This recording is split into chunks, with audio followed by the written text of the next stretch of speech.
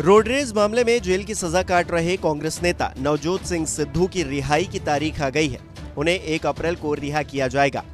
कानूनी तौर पर तो नवजोत सिंह सिद्धू को 18 मई को जेल से बाहर आना था, लेकिन जेल में उनके अच्छे व्यवहार के चलते उन्हें पहले ही छोड़ा जा रहा है।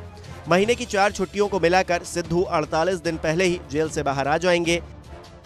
जेल से रिहा होने की जानकारी खुद सिद्धू के ट्विटर अकाउंट पर शेयर की गई है। ट्वीट में लिखा गया है हर किसी को जानकारी के लिए बताया जा रहा है कि कल, यानी कि शनिवार, एक अप्रैल को नवजोत सिंह सिद्धू पटियाला जेल से बाहर आ जाएँगे।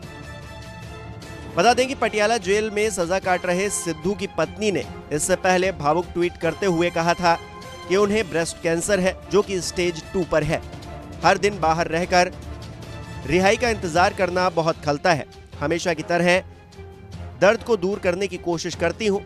इंसाफ ना मिलता देखकर दुख होता है। सच बहुत शक्तिशाली होता है, लेकिन बार बार इसकी परीक्षा देनी होती है।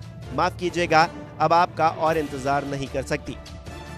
गौरतलब है कि पंजाब कांग्रेस के पूर्व अध्यक्ष नवजोत सिंह सिद्धू को सुप्रीम कोर्ट ने 34 साल पुराने रोडरेज मामले में एक साल की साश्रम कैद की सजा सुनाई थी। इससे पहले उन्हें एक हज़ार रुपए का जुर्माना लगाकर छोड़ भी दिया गया था। सिद्धू को जब सुप्रीम कोर्ट सजा सुना रहा था उस वक्त वो हाथी पर सवार होकर महँगाई के मुद्दे पर पटियाला में प्रदर्शन कर रहे थे। अपने शहर, अपने प्रदेश की ताज़ा खबरों के लिए लाइक करें शेयर करें सब्सक्राइब करें। और हाँ बेल आइकन दबाना ना भूलें, क्योंकि खबर हमारी फैसला जनतंत्र का।